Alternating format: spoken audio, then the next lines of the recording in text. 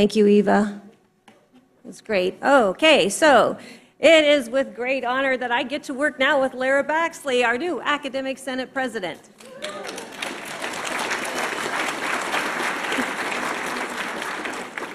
Which one's me? Which one, I know, guess which one is which. It's going to switch throughout the day which one is which. So, okay.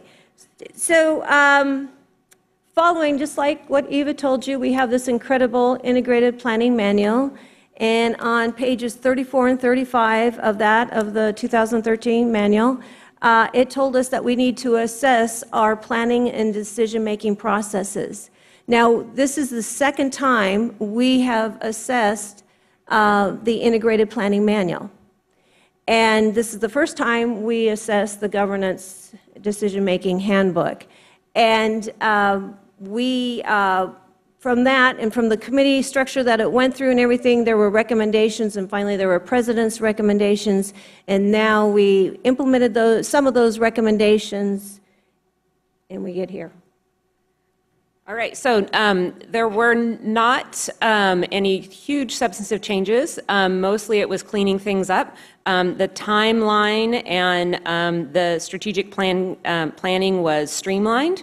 And uh, then, of course, the new ACCJC 2014 standards were incorporated into that, into the integrated planning manual. And as far as the decision making handbook, the board policies and administrative procedures were updated so that the correct numbers were in there as things had changed. Um, new things got, had to get put in there, and also the ACCJC 2014 standards were put in there. And the um, committee initiative forms were removed from the planning manual itself. They're just going to be on the website. So when you go to the website and you go to the integrated planning manual portion of the website, there will be a link there for your committee forms. The governance, sorry. It's your turn.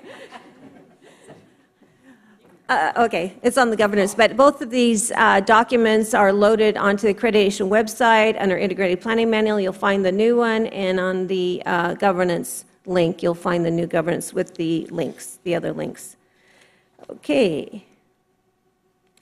All right, so uh, a lot of times, I think there's such a lack of communication between us, and we start talking and we get in committees, and then people get upset because they don't hear what's going on. And what better way to talk about what's going on in the state uh, in front of all of you today so there isn't any misconceptions or miscommunication? So, we're going to talk about new statewide initiatives and new regulatory uh, requirements. And the first one that we've already uh, put into place was Assembly Bill 288, and this is the uh, dual enrollment. And the law, what they're looking at is to reach a broader range of students. So no longer are you taking those elite students or those high performing students. They feel all students should have access to college level courses. And then the next one is, and you heard about it with Sabrina, who's done a fabulous job, the pathways. This is a huge initiative throughout the state of creating pathways for high school students to get that first course under their belt and be the third course in their series. And usually it's in that career technical education. But the other uh, portion of it is to prepare students to be college level ready, and that is in English and math. And so we're a little behind the times. This has been happening throughout the state, and we really just initiated a program in dual enrollment in fall 14. So in fall 14, we piloted with Lucia Mar, and they were great to work with. And we put in just the one course, Get Focused, Stay, Stay Focused, which is our curriculum that has been approved through our curriculum process, but it is really nationally known curriculum. And there is research that supports students that take this course, have a better pathway uh, of finishing high school and moving on to college, either in career or transferring on to a four year institution. So that is the PEDS course. Um, in fall 2015, we have expanded. We're working with all the districts. We have 11 high schools that we're working with. Uh, we have 74 sections of the Get Focused, Stay Focused, and then we have 18 sections of a career technical education and we're also working with three of, sections of general education. So that's pretty amazing how in one year and how many high schools we touch in that relationship building. And I cannot thank Sabrina is amazing working with uh, the high school principals. Unbelievable the work that she does. So thank you, Sabrina.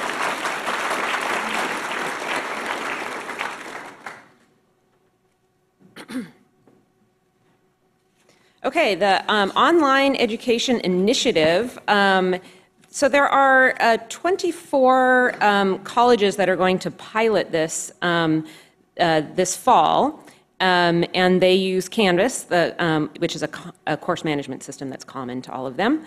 also, there's a tutoring platform to connect the local tutors to students online, and that's now available to all colleges. And online student readiness modules are integrated into Canvas, the um, course management system, and that's also available to the California community colleges. And our um, Cuesta's Distance Education Committee is going to evaluate that this semester, okay? All right. And so, some things about the online uh, education initiative. Um, there is a new, this is a professional development opportunity for those of you who teach online or would like to teach online. There is a new online teaching and learning course for faculty um, offered through At One. And so that's supposed to be released this month. And so um, be looking for that. And um, this is a really exciting thing. There's an online course exchange that um, some colleges are piloting um, beginning in fall of 2016. And what this is allows is for students at one campus to be able to take classes online through another campus very easily, very seamlessly. Uh, we're not one of those pilot schools, but hopefully we can get involved in that as soon as possible. Okay.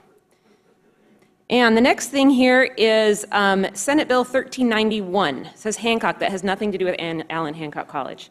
Okay, that, that is Loni Hancock, a state senator. And so she authored this bill. Um, and so this has to do with uh, teaching community college courses in a prison. We just happen to have a prison about two and a half miles away from us, and uh, the California Men's Colony. And so we are currently working with them to develop an MOU uh, to teach some courses there. And currently, the courses that we're working on are addiction studies and customer service academy.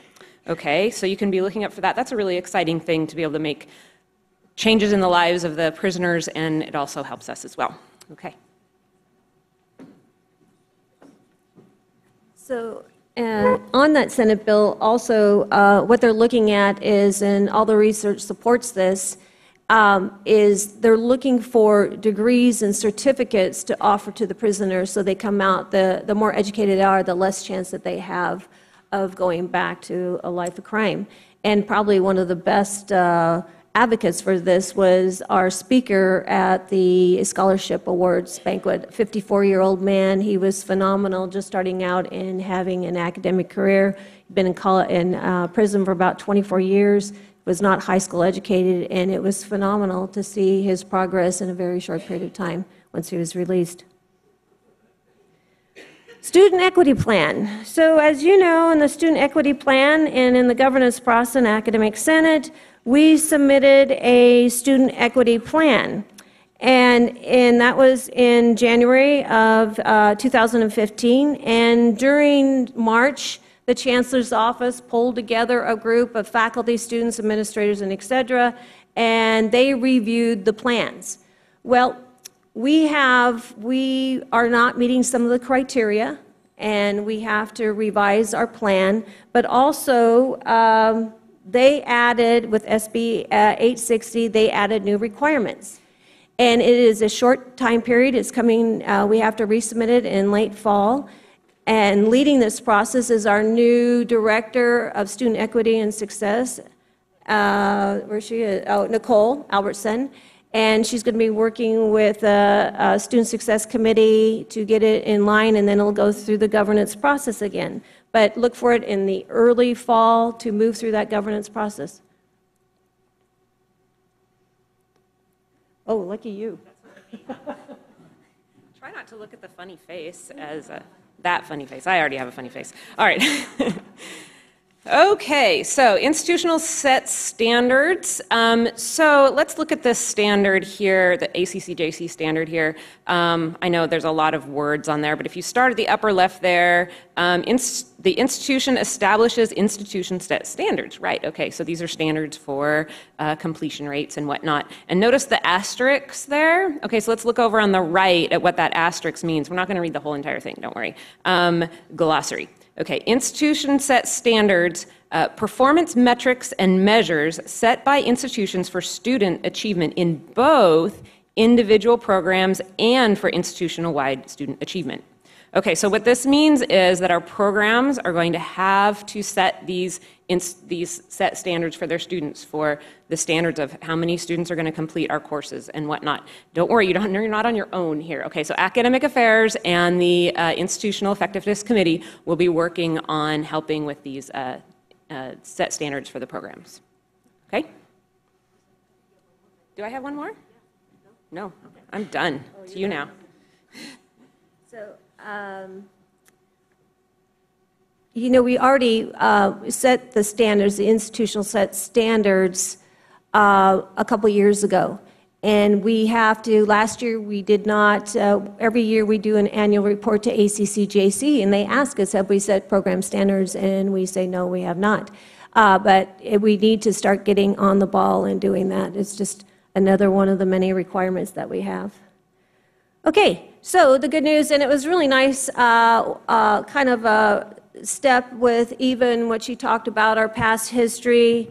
And as you all recall, in the beginning of February, we announced that we were reaffirmed. Yay! Whoa, yeah. So, unbelievable. So, and I'm not going to read all this, but in our re- reaffirmation, there is always a but, as you recall, in accreditation we have a recommendation. And I'm not going to read this recommendation to you. You can read it yourself on the slide. But in, um, we have to submit a follow-up report in, uh, by October 2016. So as you recall, and if some of you that haven't, you know, gone through this process before, it takes a long time to have a follow-up report go through the governance process. First of all, pull it all together, get the evidence, and uh, write it, go it through the governance process. This report has to be submitted and approved by the board in September 16. Now, when we were sitting in front of the commission, and it was uh, Trustee Mullen, Dr. Stork, and myself in front of the commissioners in January, they asked us specifically you guys are awesome, but can you sustain it? And then they said, Should we make you do a follow up report, respond to your recommendation immediately, as we always had to immediately, which would have been this fall? And we said, No, we can sustain it. We are good. We are awesome. We are unbelievable. We are a model college. We follow standards at all times. I think we did a little BS there. I did a little BS because time, it was probably the first time they asked me about 15 questions. All the commissioners sitting in high luxury chairs, you're sitting on a little chair, low. Anyway, but, uh, and I noticed Dr. Stork just kind of handed the questions over to me, which was like, hey, what the heck? But um, anyway, we have had a year. We have had a year, and we have done very, very little to meet the recommendation. And so I had, and this is, and it's really uh, frustrating because everybody says it's Deb's problem. This is not Deb's problem. I am the ALO, the liaison officer, and I'm going to talk a little bit about those duties later. But it is our problem, our problem. Because if we don't meet the recommendation, we will immediately go back to sanction. I don't know how more clear I can be. And again, I am just the bearer of the news and help guide us through this process. So I want you to all be aware of it. We have done nothing to implement. So in, we have to Im implement by spring something, and we have to gather evidence. And at the same time, we have to write to the recommendation, and we have to write to all these standards. So I just want you aware of it, and there's going to be a lot of push and it is, and we have to change. But we've changed before, we're going to continue to change, and we need to embrace change. So there's my little lecture, sorry. So, at the same time, as you recall, they gave us four other institutional effectiveness recommendations. And uh, the recommendation two was learning outcomes assessment, timelines and assessment, results readily available, and program level outcomes in the catalog. We've already put in this academic year program level outcomes in the catalog. Check. Um, but we are with uh, student equity dollars because it's tied to student equity. We purchased eLumen, and you're going to hear later today, and this affects the whole college because we all do outcomes and assessment we need to centralize our outcomes and assessments, and we need to pull the data on those individual students. The way we're getting funded today is very, very different than the way we've been funded before. And if you see the amount of dollars that uh, the student success dollars get, the student equity dollars, they're doubling our dollars this next year in student equity. And for some of you faculty that participated in that retreat, that two day retreat we had in Avila, beautiful two days there, that was funded by student equity, professional development. So we need to centralize, and we're really trying to do that, and we really need to push. So when we do the midterm report in 2017, we can show the evidence that we have centralized and we fulfilled this recommendation of institutional effectiveness. The third recommendation is implement a tracking process for student authentication. We're working on that. We need to do it a little bit stronger than what we have. Number four, consistent monitoring of records in employment, equity, and diversity. And I know HR is on top of that. And they, each one of these recommendations will be reporting to the steering, accreditation steering committee over this next year. And recommendation five, of course, is board policies. And my expectation is the board will make sure policies are going through there regularly, evaluate, revise, and renumber and we need to stay on top of that and move it through our governance process. And then we also have six actionable improvement plans that are identified in evaluation. Thank God, because last time we had 80 something in the last time we wrote a, uh, a self evaluation. Do you remember following those for how many years and how much work was related to that? But we only have six, and uh, the team thought that was great. Okay, as the ALO. So it's, it, it is a, a kind of a, difficult position to be in as an ALO. And you know, I talk from my heart. I just talk real. You, the majority of you know me. I, I think I'm semi approachable. Hopefully, you think I'm approachable. But um, I pulled the board pol, uh, not the board policy, the policy, ACCJC's policy uh, for an accredi accreditation liaison officer and the role of an ALO. And of the many duties, one of, it, one of it is to promote an understanding of accreditation requirements, quality assurance, and the new standards in 1B alone, they mention quality nine times. Nine times in one standard. And you have to remember there is terminology, there's meaning behind words and institutional effectiveness, and that's my role is to communicate and have you an understanding of what that means. Um, again, I have to communicate information about accreditation and institutional quality that is available from ACCJC. I have shared with the Academic Senate President and the CCFT uh, training information that I have on mandates and requirements, and my expectation that they will, they will discuss that with their constituent groups. And then uh, I need to maintain regular communication with the CEO uh, and the college on accreditation matters at all times. So those are just some of the roles that I have. So my expectation in beginning fall immediately, I am going to work with the Academic Senate. I am going to work with the Curriculum Committee, who is a subcommittee of the Academic Senate. I am going to work with CCFT, and I am especially going to work with the Distance Education uh, Committee, the director, and the coordinators, because we have to meet this recommendation, the recommendation one. And again, we need to embrace change and move forward and not be stuck where we were at one time. So I'm looking for implementation that we can write about in spring 16. And then, other than that, that is not the way I want to end this lovely day because we are, I mean, think about all the fabulous things that we're doing. I, it is amazing what's happening in the classroom. It's amazing uh, with the dollars that we hit, ha, have coming in, the professional development opportunities that we have. It is incredible that we get to look at our past, currently where we are, and plan for our future. And planning for our future, it, it means that we need to describe what our needs are. We need another uh, lab for biology. We need better upgraded labs for biology. I mean, it goes across, I'm sorry, I saw Ron, I have, speaking to Ron. You know, we need to, what is need, well, math is getting a new building, but we don't call it the math building, we call it the instructional building. So, but we need to prepare in a document about our future so the next time we go out for a bond, and believe me, we have to go out for a bond again, we are prepared and we know what we're going to do. So, with that, it's a very exciting time. Have a wonderful semester. My door is always open. Most of the time, I'm not in there, my office, but my door is always open. I would love to come to any division department meetings if you want to discuss. If you have an issue, come see me. Talk to me. You know, I really, you know, come talk to me and tell me. And if you have a problem, I try to fix it because my whole life I've been a problem solver. So, anyway, with that, have a wonderful semester, and uh, we'll see you around the block.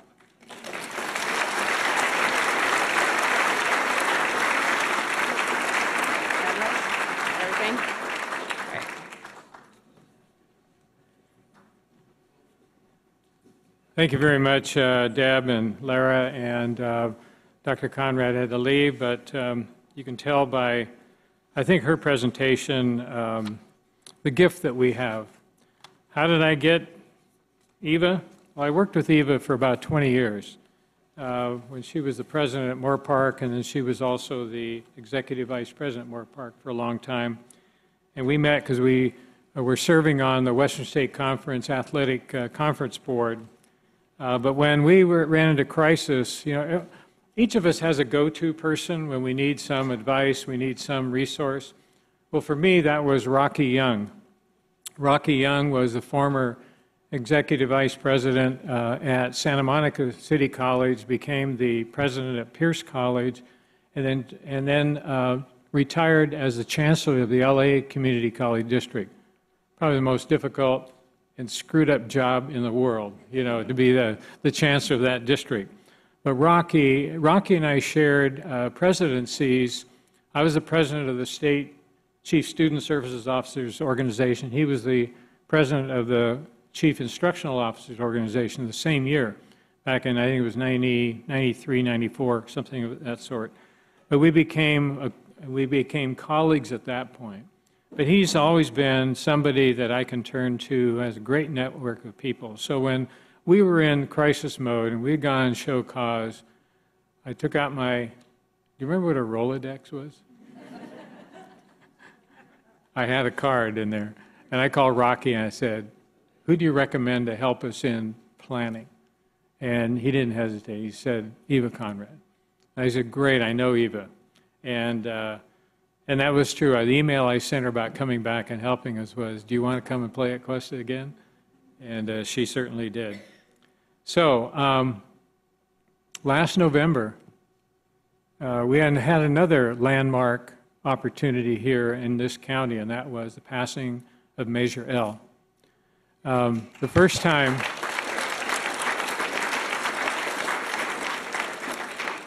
and I know many of you were feverishly working for that benefit, either putting out signs in neighborhoods, uh, working the phone banks, talking to your friends and neighbors.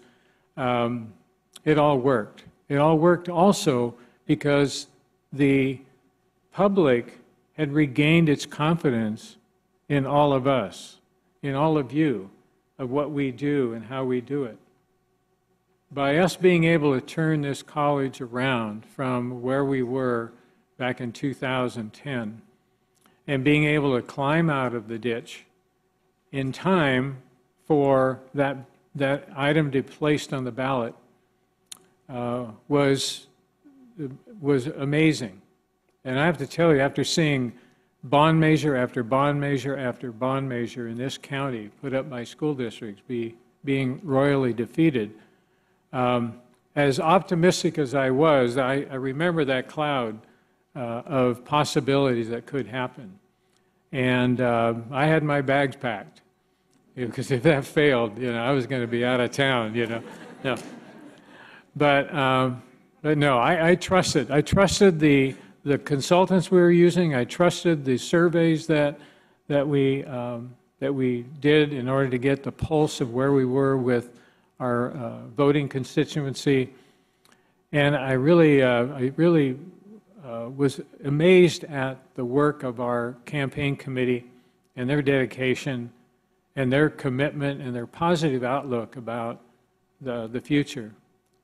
We were so positive and confident that we could pull this off that we started working a year ahead of time. We invested in the likelihood that we would pass this bond. And if we hadn't done that, we'd still be a year away from being able to do what's already done today. And I want to credit Terry Reece and his working with our architects and our consultants uh, to be able to pull that off. Because we are way out of front of everybody else in this county that passed bonds. As a matter of fact, they're going to be struggling to find the labor market to do their jobs because we have them employed, you know. So to help us. Uh,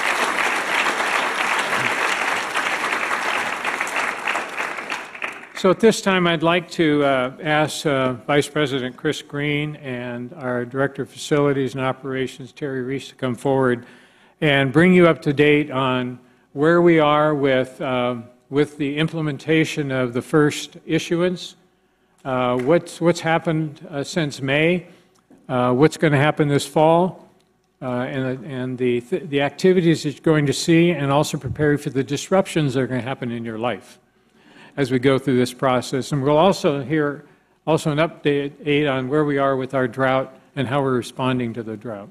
So, ladies and gentlemen, our buddies here. Thank you.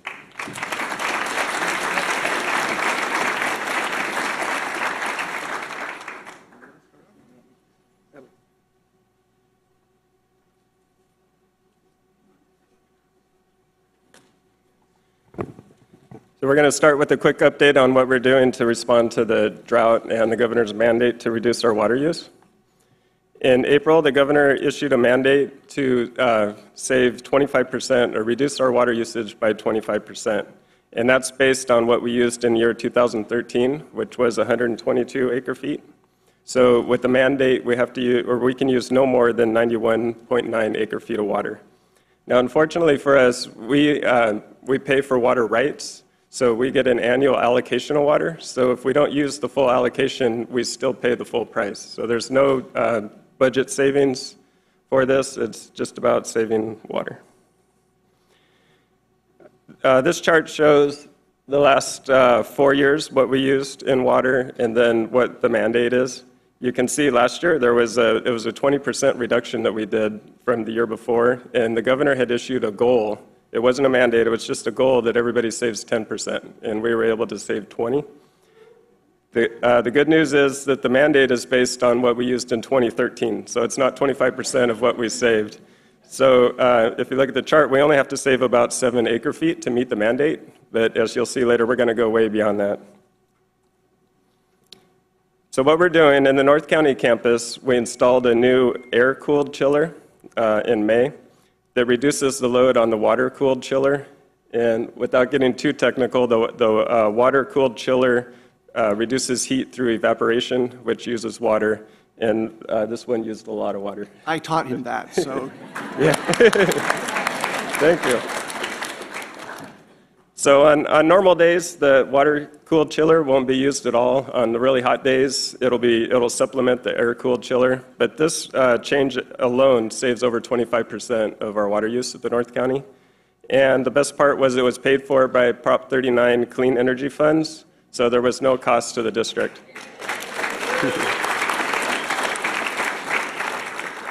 Now, on this campus, we're reducing a lot of the lawns. So you'll see a lot of dead lawns out there. The ones that are reducing will have uh, signs on them, says uh, turf reduction for drought. Um, We're going to be converting most of those into drought-resistant landscaping. The remaining lawns are being stressed. That means they're not being watered as frequently as normally, so they'll look kind of half-dead. Uh, We're installing uh, low-flow toilets and urinals, over 100 uh, low-flow toilets and urinals, and also in the restrooms, we'll have the metered faucets uh, that they only run for a short period of time. And we're also monitoring the water usage weekly so that we can uh, quickly identify any leaks. This is an example of a lawn that was removed last year and replaced with drought-tolerant landscaping, so you'll see more of those around campus. This is another example of where the lawn was removed and wood chips were put in and some trees and uh, a table, so this area is still uh, usable. Uh, we do have some challenges with the drought. The soil is drying up, and when the soil dry, dries, it shrinks. And it's a little hard to see in this picture, but the, uh, the soil has separated away from the sprinkler, and so when the sprinkler turns on, it, it kind of vibrates, jerks, and it can break the pipes. Also, if somebody steps on it, it's more likely to break. Another challenge, we've had uh, four pipes break. It's also under the strain from the uh, shrinking soil. This is an eight-inch pipe that broke, and for an example of, of the challenge, an eight-inch pipe, if it breaks in the evening and we find it first thing in the morning and shut it down, just overnight, it would leak between three and four acre feet of water. If a full eight ounce or eight-inch pipe leaking like that. So how have we done so far? This, this shows uh, that since the April mandate, it has uh, three years comparison to what we're doing this year. So you can, in, in the green bar is what we're doing this year.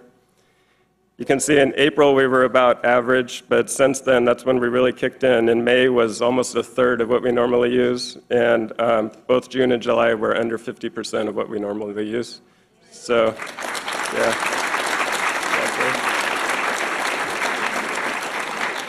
So we're projecting, unless we have some major pipe breakage, that we'll be able to end the year with about a four, four, between 40 and 50% overall savings in our water use.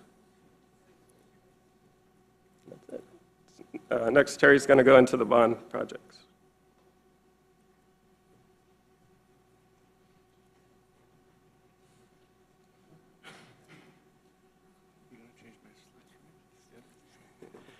To put acre, uh, good morning.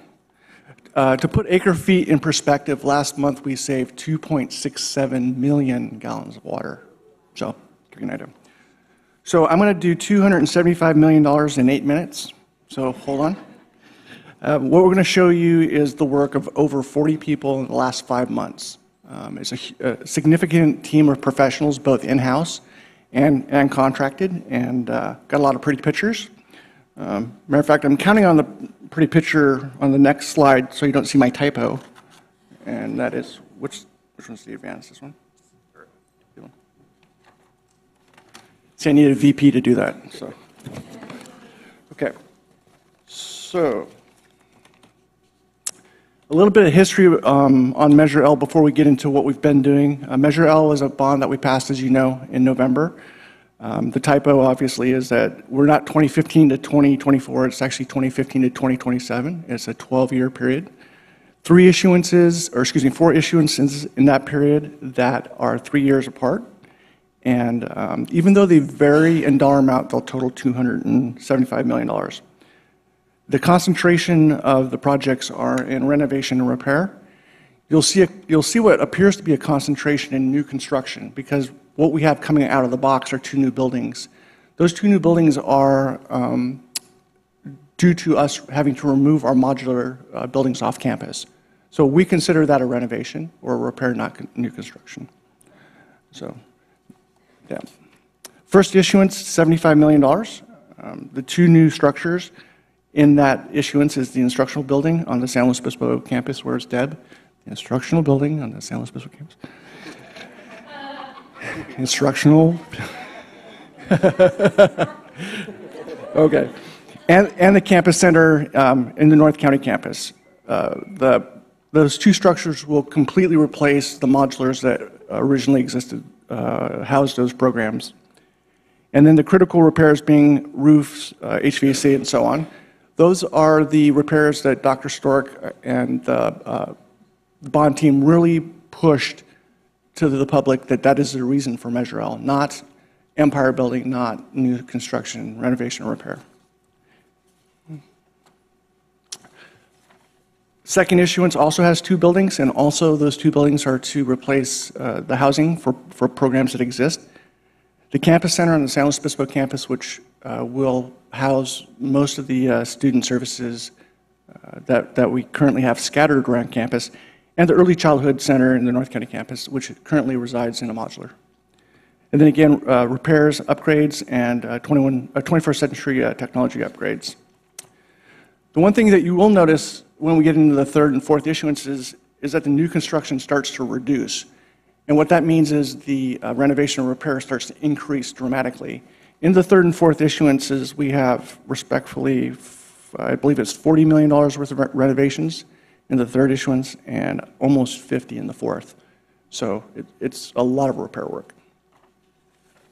Timelines, uh, timeline slide to show you the, the most important thing to get from this slide is where we are right now in 2015 in the third quarter, and the occupancy date for the two new buildings is this time two years from now.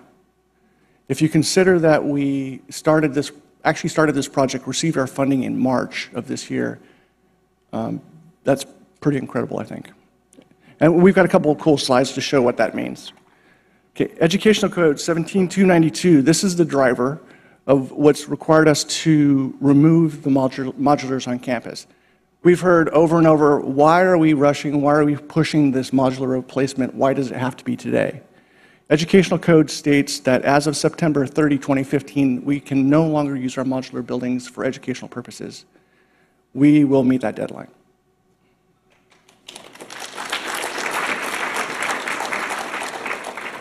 How we're going to meet that deadline is the, are the facilities that are coming online today. We've installed in the last four months 21 modular structures for a total of 23,000 square feet. Um, the majority of these structures are on the North County campus, and these structures completely replace the whole existing North County campus. What you're seeing are pictures of the actual uh, North County uh, modular farm that we have up there. Okay, the fun stuff. July 20, 22nd, uh, 2015, we took a trip to Oakland. Um, Nikki Ro- Rocha and myself and our two architects from PMSM, and delivered over 100 pounds of plans. Those are the plans for the uh, campus center and the uh, instructional building.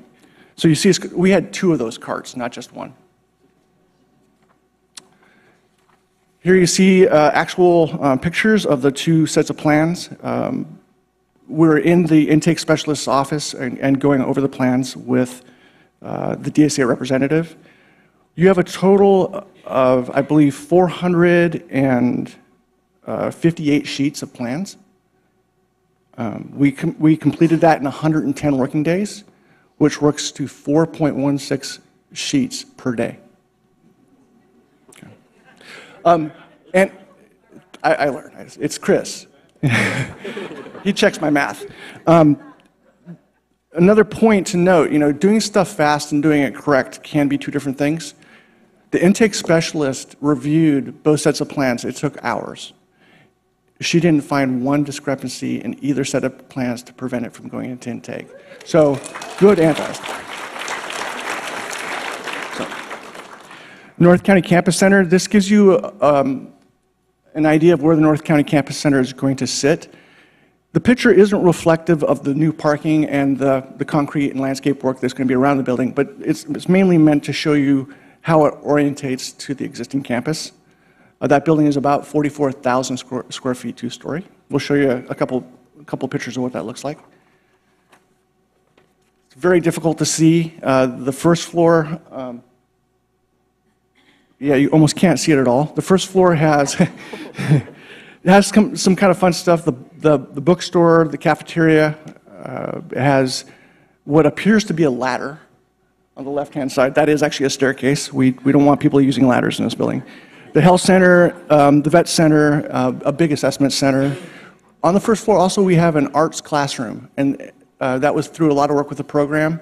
Um, And it has an exterior painting courtyard. So if you wanted to, to paint or do arts in daylight, it has a courtyard specifically for that. Second floor, um, primarily student services. You have, you know, admission records, uh, non-credit, community programs, uh, all your counseling services and, and such on the second floor. Point of note, the classrooms, there are three classrooms in this building, two on the first floor, uh, or, or two on the second floor, one on the first floor. All of those are 45 cap, 1,200 square foot classrooms. The district, as long as we have a choice, will not go back to 960 square foot, uh, 35 cap classrooms. Okay, the fun stuff. This is the actual picture of how the building will look when it is completed in two years from now. Uh, This is facing Buena Vista. There's a large front, uh, large glazing to the front that is glass to the ceiling. Um, I believe that's Dr. Stork's new car to the left over there. I'm not sure. Um, And so a lot of, a lot of, um, it's a large presence meant to be so that when students come on campus, they know where they're going to go. This is the view from what would be the 2400 building. On your right side is where the cafeteria is. It's, it's, uh, has a shade structure and roll-up doors, so on nice days, you'll have inside and outside seating. On, in the center, that courtyard area is the art courtyard. That wall will be slightly higher, so you won't be disrupted, but it does have good natural, natural lighting. This is the view if you'd be looking from, uh, from Dallons. So as you're driving by Dallons, that's how you'll see the building. Very noticeable. Um, and we'll have uh, access to the parking from, from both, both roads. There's the ladder. That's a one-piece suspended staircase. It's, it's, it's pretty unique. Uh, there'll actually be computer, uh, computer uh, access directly under that staircase, people sitting on that, under that first landing. Um, that ceiling, you can't really tell it, but it's a wood slat uh, metal ceiling. It is representative of how that lobby is actually going to look. This is the, caf- uh, the cafeteria. Again, it's got a um, roll-up doors so that inside outside seating, a look-through ceiling. Again, this is reflective of how that, this is what the room will look like. Bookstore on your left. Uh, the bookstore is as designed. We did a lot of work with Trudy and her team. The, you can't really see the wall finishes, but the wall finishes, the furnishing, the, the carrels, is and the glazing is exactly as that room will look. On the right, what you're, what you're looking at is the second floor of the campus center, looking from the back of the, the room towards the staircase. In the center, these are all computers to assist counseling, anybody else that needs students to do data entry while they're waiting to, to be seen by the student services needs. And it's directly across from the offices that they're going to be seen. So a student can come in, hit reception, be assigned to a computer, do their input, and wait, wait to be called in. You'll also notice that it's hard to see, but in the center that white area is a skylight. That skylight opens down to the first floor, so those that have offices on the first floor will actually have somewhat of natural lighting to their, to their first floor. This is the instructional building. the instructional building uh, sandwiches between um, the 2100 building and the early childhood education building. It is a two story, 32,000 square foot building. The landscape is also reflective, it is what will be in there. Following our new policy of, of larger classrooms, we have uh, eight 45 cap classrooms and one 80 cap classroom. So it can double as a forum. Uh, the- These, this, the- this structure and the North County Campus Center will be our leading buildings for AV technology. Second floor, I, I don't think anybody's interested in this, these items. Uh, 46 standard offices, three double-size offices, and three conference rooms. Uh, Deb Wulff was definite when she said, I need to have big conference rooms, they have to have lots of AV, we need to do accreditation, uh, which we haven't heard about at all today. Um, And so we do have significant conference rooms um, in the second floor, but primarily uh, faculty offices. There's a, there's a copy room, um, a kitchen lounge. Uh, The the lounge is accessible from two directions. Uh, And you'll get a view of the interior walkways here in just a minute. Kind of, we can show you the coves that we've set aside for students that are waiting for their faculty. This is a view from the 2400 building. In the case of a hurricane, the best place to be is in that staircase because it is a rated staircase for hurricanes. We thought that was a nice touch. No real other reason. Um, it actually does, the side effect of that is it does allow light from outside into the staircase so we can meet Title 24, which says that you have to have so much natural light. So the staircase will have no lighting during the daytime because it gets so much natural light from outside. That is, of course, the main reason. This view is from the 2300 building. It kind of gives you a scale uh, of, if you're from the 2300 building, it is a substantial structure. Uh, It will have a courtyard, the building will have a courtyard between uh, the instructional building and the the early childhood education building. Another view from ECE. For the AV concentrating folks in here, we are not going to put the screens in front of the whiteboards in in this building, okay? We, we did want to show, though, basic uh, finishes, the fact that the rooms will have windows, so you'll get some daylighting, and they, and they will be AV intensive. The 80 cap classroom, we hope to have the leading uh, AV technology, period, that uh, multiple flat screens, multiple projectors. Um, So that's our plan on that. What you have on, on the right side is the walkway that faces the Children's Center on the second floor. It also is the corner off, or the corner area of the largest conference room in the building. We have frosted glass that goes into the conference room that transfers natural lighting from outside through the hallway into the conference room. But you can still have a meeting in the conference room and no one will be able to see what your content is or who's in the room by the frosted glass. So, you know, it kind of gives us the ability to have the natural light and still not compromise your conference or, in, you know, disrupt your conference. The other side is we're, tr- we're trying to show the finishes and the coves that are on the areas opposite from the faculty offices so that students will have places to sit. There'll actually be a couple places where students can plug in their, their um, personal devices to charge and that sort of stuff. We came back to this slide just purely to, to emphasize the uh, dollar amounts in upgrades and renovations. Uh, I think we touched on that well enough, but it is significant in the second half. This slide, it kind of gives me a point to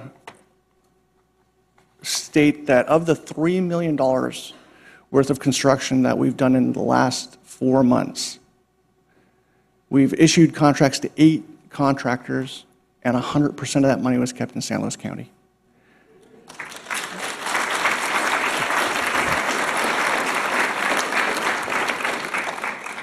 We can't guarantee that we can, we can get all of the money funneled to local contractors. It, it it has to do with delivery methods in large construction. But wherever possible, we'll shape packages in a manner that's legal to get them to our local contractors and, and keep our local people working. So anybody that saw the Measure L campaign saw our lovely roofs. The one on the picture on your left-hand side is the roof of the 4500 building. It was ready to go. The picture on the right side is the completed roof on the 1100 building, which the chain link fence comes down on today. Actually, was supposed to come down this morning, so we'll see. Go one more. Then the famous exhaust fan. Uh, Dr. Stork was asked numerous times in Measure L, do we know where that exhaust fan is? We do. That exhaust fan is on the 1100 building. The picture on the right is the new exhaust fan that we had, that we've replaced. This is a, another key slide, uh, one that um, Keith is from Computer Services is waiting to jump on. Uh, Computer Services portion of Measure L is $16 million. That works out to about 1.3 again million dollars per year. Uh, 1.3 million dollars is approximately the funding for computer services for the last six years. So they've got a lot of work to do. They have a lot of infrastructure. The the bond team is stepping up, as is Keith's team, and a lot of work to do. But I believe in the end we'll have a great system. Okay, a little peek ahead. Uh, We have a couple slides here, just two, and uh, this is our rendition of what the Early Childhood Center would look like. We already have floor plans starting on this, and this is the start of the second issuance. And the second, the, the second slide I have, which is my last slide, is reaching into the third issuance. So that's the Trades and Technology Center. It's a phenomenal building. We've already met multiple times with the programs, and it's, it's going to carry the needs of that program for the next 20 years. So we're looking forward to building that out and getting, getting to the third issuance. So that's it. Thank you very much.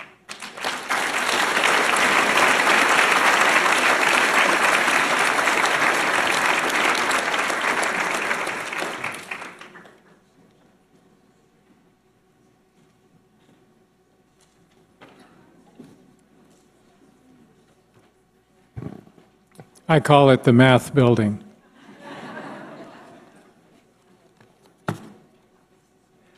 I want to thank uh, trustees George and Hitchman for joining us today, and I especially want to thank my friend uh, Dr. Marie Rosenwasser for joining us today, and again thanking her for the thoughtfulness of creating that leadership award, and and I had the honor of renaming it in her honor uh, because of that.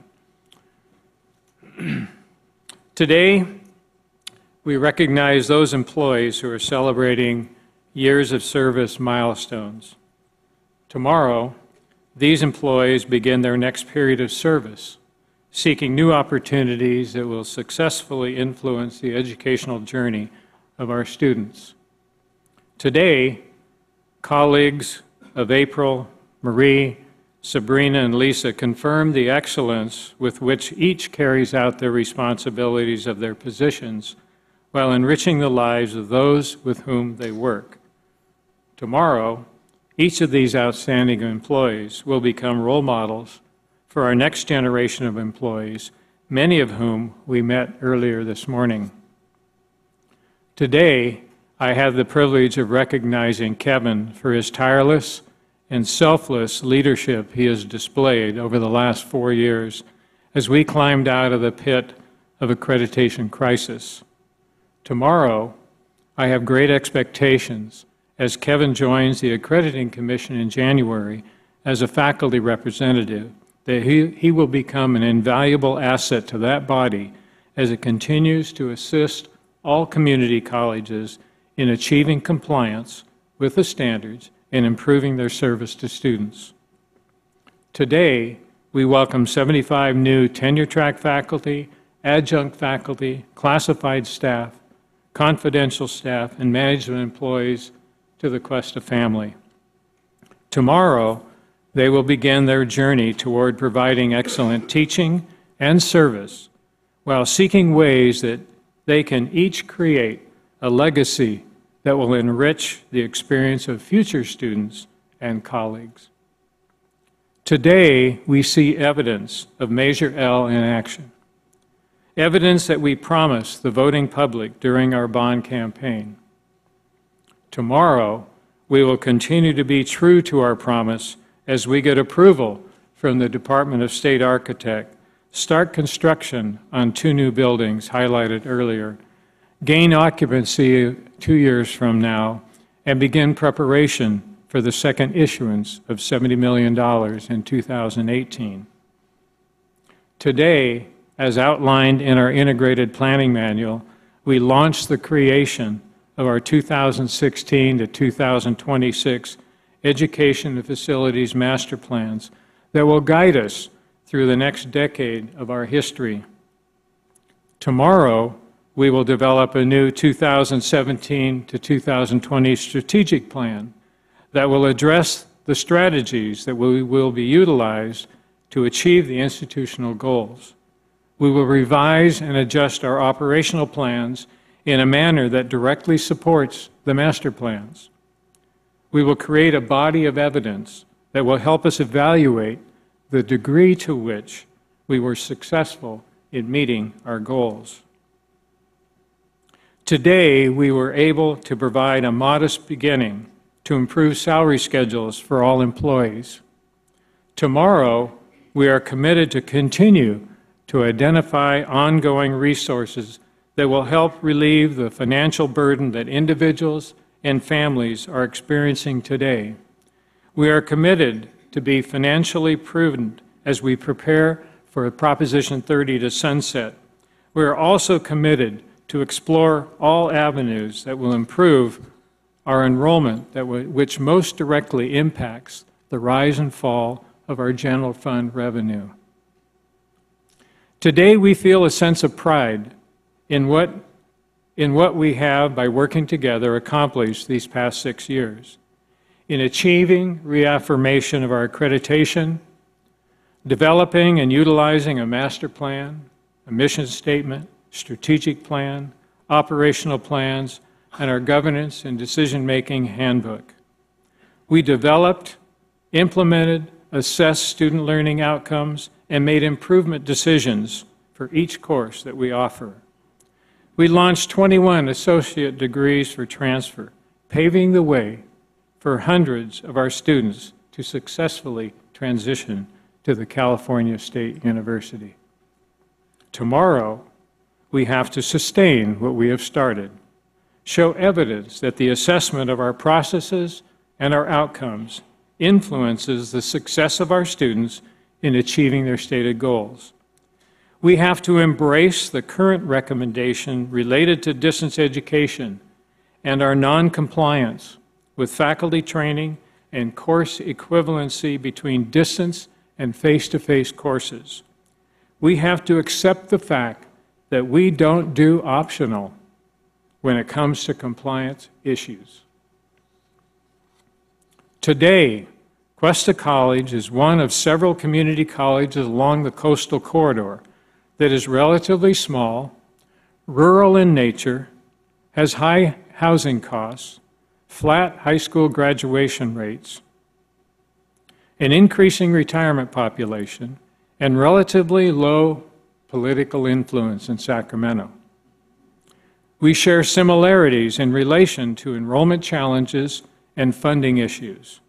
Tomorrow, the presidents of Cabrillo College, Gavilan College, Monterey Peninsula College, Hartnell College, Cuesta College, Allen Hancock College, and Santa Barbara City College have agreed to form a new alliance called the Central Coast Community College Collaborative.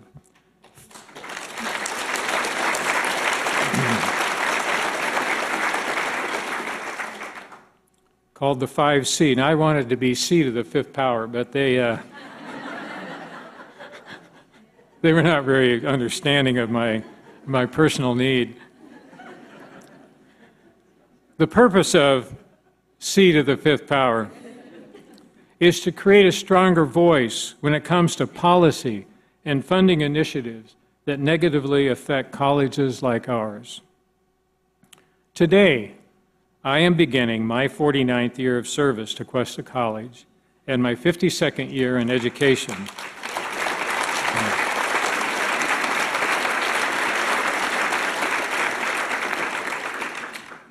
I am also beginning a new three-year contract extension to serve as your president. This will also be my last contract serving as your president. Now, somebody said, right. Yeah. I could not be any more proud of the work that you have accomplished in the last six years. It is truly, in my estimation, phenomenal.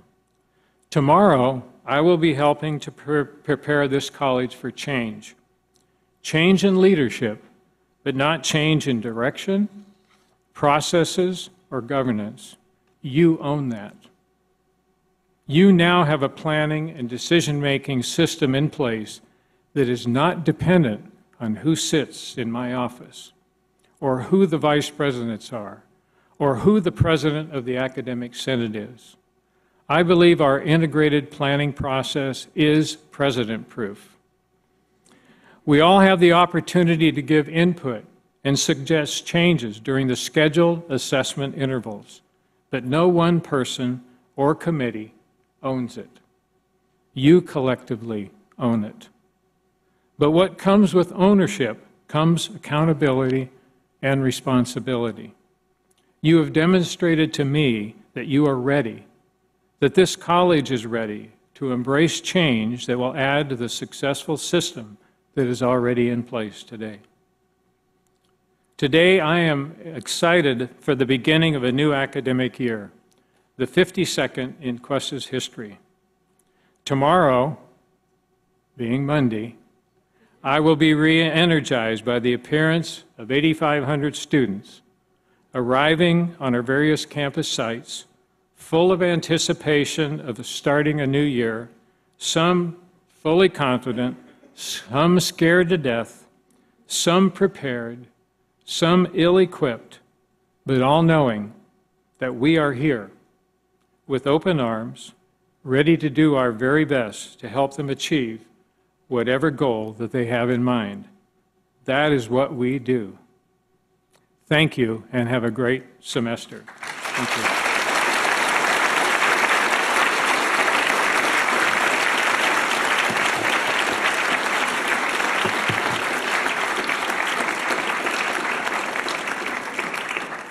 Class dismissed early, yeah.